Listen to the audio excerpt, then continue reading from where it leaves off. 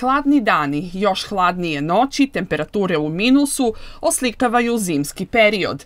Nekada je potrebno dogrevati prostorije tokom noći ili tokom ranih jutarnjih sati.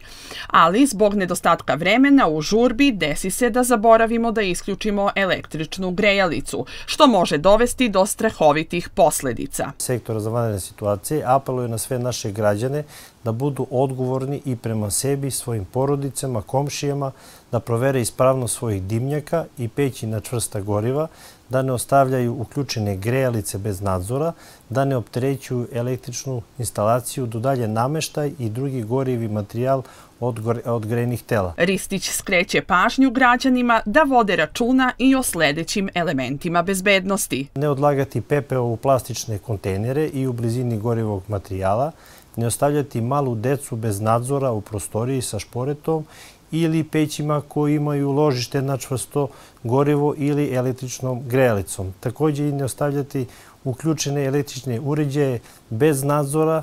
Znači, kad izlazite iz kuće, iz prostorije, obavezno isključiti iz struje.